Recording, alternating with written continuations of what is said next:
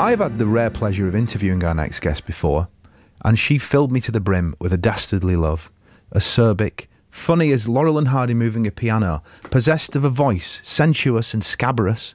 She and her band have been banging out the hits for 26 years. 17 million album sales. Count them. Can't be wrong. They're back with a new one called No Gods, No Masters. It is out on Friday. It's Garbage's Shirley Manson. Hello. Hello. What an intro. My God. I, I felt that you it required it. You know, you're a, you're a, you're a, you are um, you're a legend, and you need to be built up. Thank you so much. I don't think 17 million sounds right. It must be at least 17.3. I'm thinking. I don't think 17 million sounds right at all. What do you think it should be? Higher or lower than that? be, I think it should be much less. I don't know. I love, I've been reading up a lot. You know, I mean, it, you uh, unless you didn't say this, it's, it's, you said that you guys always keep a close eye on the band coffers. You know, on what's coming in, like more than perhaps some bands. Is that sort of to make you a bit more independent from the industry doing that? Yeah, we just have always been really careful, you know, like we haven't gone out and bought like rock star cars or huge houses or anything like that. You know, we've just been very canny with our money, as my mum used to say. So um, we always invested back into the band so that we always had a recording fund, even when record labels were uninterested, you know. So we were independent in that sense. Well, because that's the thing, isn't it? You've you, you you've got garbage over here, you've got your audience over there, and it's the conduit sometimes, isn't it? You know, you you know you've got an audience that you need to supply this stuff with, and so maybe it's just a good thing not to always have to rely on record company goodwill, isn't it? I suppose. Well, yeah. I mean, because sometimes you don't have a record, you know, they, Yeah. they, they don't want you. So, you know, it's always best to have a record company in some regards because they really are, you know, they're a great distribution system and, and they're more powerful than when you're an independent on your own. It's really hard, you know, when you're an independent band to get to get your head above the parapet. And, and record companies do help you do that, Yeah. but they're not always there and they don't always want you. So you need to like keep going. Th- this is it. I mean, uh, I know the thing is, God's no God's no masters is your is your seventh album, right? And that's Yeah. a, and you- we're into numerology here. Seven sins, uh, seven brides, seven brothers. The song Seven by Prince. uh, I'm gonna I'm gonna roll the decks through some more. Seven Up is a nice drink. Um, Pelly and Dalglish were the number seven. So you say numerology is a bit significant. What what what is seven in numerology? Do some numbers really contain an innate power? Do you think, Shirley? Well, I was really sort of tongue in cheek when I said that in the bio. Um, although I do believe in lucky number seven, and I was excited to put out a seventh record. And you know, Seven Brides, Seven Brothers. Um, it also has a lot of biblical signif- biblical significance, and it also uh, represents sort of reinvention and, and rebirth. And I don't know. I just thought it was a fun thing to say, and then now I'm really regretting it. Because idiots like don't me, know anything about numerology. idiot. It's, it's, it's, oh, it's always the, in- the interviewer on the back foot, isn't it? Well, I've read in the press release that you're into numerology. No, that's not what I'm saying at all. I was just having a little bit of fun with you. But yeah, well, I'm an idiot because I know that happens, and yet I continue to open my big fat mouth. Yeah, So, you know, can't. It's on me. you can't help it. But this is it. No gods, no masters. No, the, the, here we go. Here's a bit another basic question, Claxon. Here, what? Where is the album title from? Where? What? Where? Where did that particular set of words come from for you? Well, it's an old it's an old saying from like 1880, I think, by a Frenchman whose name escapes me. You put me on the spot. It's been used by everyone over the years. You know, um, from the feminist to the anarchist to the punk, um, and now garbage. And it basically just sort of represents, you know, equality, egalitarianism for us. You know, that everyone is born equal and should be treated equally, and of course they're not. But so it's sort of a bit of a protest statement about wanting everyone to be treated with respect. You know. Yeah, because we've moved. I mean, and obviously we'll get onto this a little bit. We've moved, we seem to have moved from, um, you know, a sort of liberalism to a libertarianism almost, haven't we? And egalitarianism's been sort of pushed to the sidelines a little bit, hasn't it? Politically, it feels. Yeah, yeah, it's a sort of uh, considered a bit of a naive uh, perspective of naive philosophy, but I believe in it wholeheartedly. You know. I couldn't agree with you more. I mean, I, I love the, the the quote that is attributed to you. We couldn't just sit and make a party record. And it's not, is it? The themes are, are pretty massive on this, aren't they? Since you last put a record out, we've had we've had Trump, we've had Brexit, we've had the rise of the far right, we've had George Floyd. You you are kind of tackle, tackling some of this lyrically on the record, aren't you? Yeah, we are. I mean, it's a complex record. It's not an easy record. Uh, when we presented it to our managers, I was like, just be warned, this is not an easy record to listen to. It's not a feel good record necessarily, um, although I love it. Um, it makes me feel good. Yeah. But um, yeah, the theme, there are a lot of uh, somewhat challenging themes on it. Um, but I, in all due conscience, I just couldn't stand by and not comment on what I saw was going on around me. Yeah. I just, I just making a party record or a throwaway pop record at this point in my life, I just couldn't do it. Well, that's it, and you've not. I mean, and, but like you say, you've still you're still using that wonderful palette that that I think you know you draw on really when you're all together. Um, you know, so there's that sort of industrial inflection and a bit of trip hop, but there's always pop and there's always that honeyed part of your voice over the top of it. So it, really sweetens the deal. But the men who rule the world is not everybody wants to rule the world, is it? Shirley, it's you're going for the throat there, aren't you? Tell us a little bit about that one. Well, I mean, as as bold and and uh, spiteful as it sounds, it's actually a retelling of of the age-old biblical tale of Noah's Ark, except it's reimagined as a sci-fi uh, feature film where I come down from outer space with George Clinton in his mothership, and we save everything that's beautiful and divine and lovely, and we leave all the corruption and the wickedness on Earth, and we head off back up to whatever planet we came from. God, that's almost like that. That's like a mix of Independence Day and a bit of Scientology in there, sort of just for a, a bit no, of no, a laugh. No, no, no, no, Shaun, no, no Scientology. I live in America. you're Very wrong. Don't even joke about that. Okay, um, that's the, the, the- somebody should be in contact with Netflix about this because I can see this being at least a twenty-four parter. Surely, Absolutely, absolutely. But it's a big theme. But I do feel like, you know, we've got to a point where we're all looking at the governments all over the globe, and they are run predominantly by men. And I feel like men have been given centuries and centuries to get this right. They keep messing it up. yeah. let's get some more voices from all different walks of life, genders, you know, religions, etc., etc., and get us all on board so that everyone's represented uh, fairly, and we can actually solve some of these ridiculous issues that we're all faced with on a daily basis. Desperate for. I mean, it's like the Rainbow Connection. It's like that song, isn't it? You know what I mean? It's it, it, it, without question things. You, Yes. What you've said is completely right. We've just the, the the direction we're moving in is just it's not really working for most people, is it? I mean, No, I don't think so. and you've always been vocal anyway on, on especially on the power imbalance, like in the music business and in the world, sort of in general, really. And so on a song like Godhead, talk me through that a bit. Is it is this a woman imagining being a man? Is it about men checking their privilege? Is is some some of that going down? I think it's about all of that, you know. I mean, it's about a lot of things. It started off kind of tongue in cheek, you know, because I am aware that I get treated very differently from my male counterparts in the band.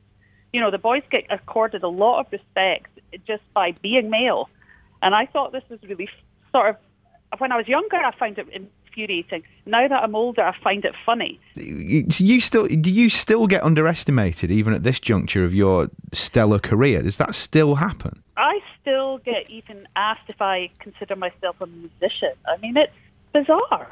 At this point, after, you know, I get it. Like when we first came out, I was young, unproven. I was working hmm. with, like, you know, an amazing producer like Butch, you know, who was w- respected worldwide, had come off making incredible, you know, music scene changing records. I get why people were suspicious of me and didn't really give me any time of day, but now I'm like, come on, Yeah. what is it you want from me? What, what do I have to do? You know? But I do think it's changing. I think the new generations of people coming up, male, female, and and, and uh, non-binary, they're they're all way Yeah. more switched on than we ever were. They're way smarter and like not willing to put up with the rubbish that we Yeah. put up with for years. That, that you're, you're, you're right. We're in the midst of our loud and proud season here for Pride as well this week, so it's you know it's, it's course, timely yeah. that we're talking about it. Well, let, let's break for a track off the album. Uh, we, we, we, we, we, we should give people uh, a little sampler of what, what to be expecting uh, when uh, No Gods No Masters comes out on Friday.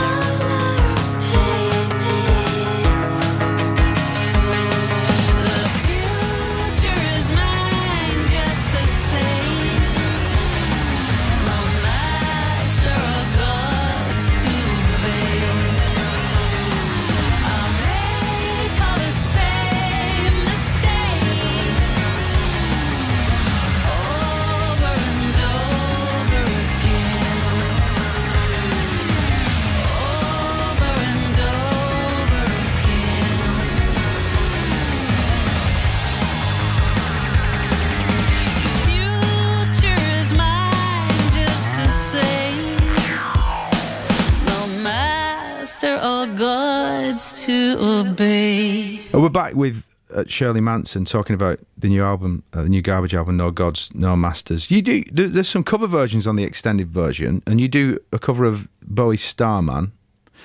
Did you worry about doing a version of that? Because that's almost like karaoke classic level of Bowie, isn't it? It is, and I did. I was concerned, but I think we we we we thought about it long and hard. We got invited by Howard Stern to be part of his tribute to David Bowie, Hmm. and we we really felt it would be ridiculous to turn such a gorgeous opportunity to pay homage to one of our heroes uh, to turn that down. So we took a stab at it, and then we were really happy with how it turned out. It's Um, beautiful. It, it, it- Yeah, it is beautiful. Thank you. and it, you know, there's, there's, there's sort of almost imagine you as it's almost like you're singing it as the teenage you. For some reason, that's the way it struck me. You know, in the verses in particular, it's sort of so ethereal and and beautiful, but and and then you know, sort of a, a straight homage in places as well. I think it's really nice how you've mixed it up. Did you did you ever beat? I've got to ask the question. Did you meet David? I did. Yeah, What, I did. what was it Yeah, like? Was it what was the experience? I, lo- I lost my mind. I was like a sort of headless chicken. I couldn't even really function properly. You know what I mean? I was like, there was so much noise in my head, and I was just looking at him, and he was so beautiful, and it was intense and amazing. And I don't know. I mean, he, I, I've been obsessed with him since I was a kid, and I love what you just said about our cover version because that's exactly how I felt when I was recording that vocal. I felt in touch with myself when I fell in love with him, and it was a really, it felt like a just such an intimate moment for me in in my career. Oh, I'm, I'm- it really does come across that on the recording. But it's funny the number of people that I've asked that question of, and they, they basically all responded in the same way. You know, I was I was all over the place. It, I was just imagining what it must be like to be somebody like Bowie, or perhaps people like Prince, or Joni Mitchell, uh, or Shirley Manson. When people meet you, you just become insensible. You know. It's, it must be quite strange. it It must be quite a strange life to live that you can't really walk anywhere. That people sort of falling over, falling off bikes, and you know, running into sheds.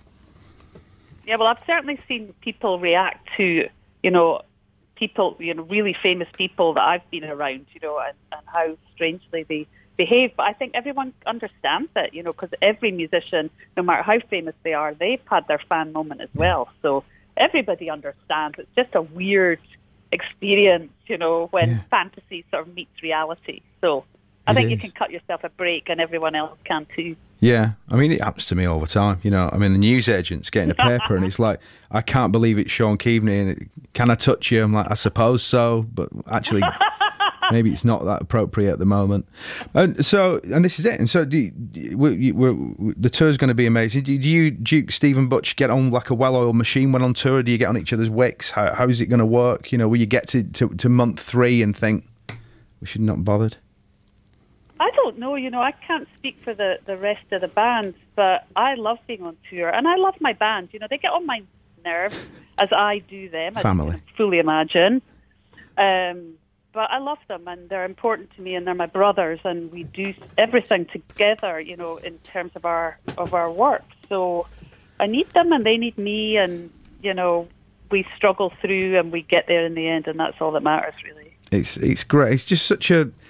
I, love the confluence of influences. You know that sort of, like I said, that industrial, almost like Prodigy esque sometimes. But you get these like bluesy licks underneath, and you get your voice over the top, and it's and, and the pops just running through it like a seam. It's just, it's really brilliant, and and and we're we're so glad that you're back uh, with No Gods, No Masters out on Friday. The 11th of June. Pink vinyl for Record Store Day, neon green vinyl as well. So that's exciting as well. Got to be said. I think so. I think. So we, we, we get out to the record stores on Record Store Day if you want your pink vinyl version. Um, Shirley Manson, a pleasure, a privilege. Thank you very much for joining us today and, t- and talking to us about the record. It's my absolute pleasure. I want you to be my new best friend. Well, I, I think we've already minted that relationship. Thank you so much, Shaun. I appreciate it. Always prevalent, always relevant. Six Music is loud and proud.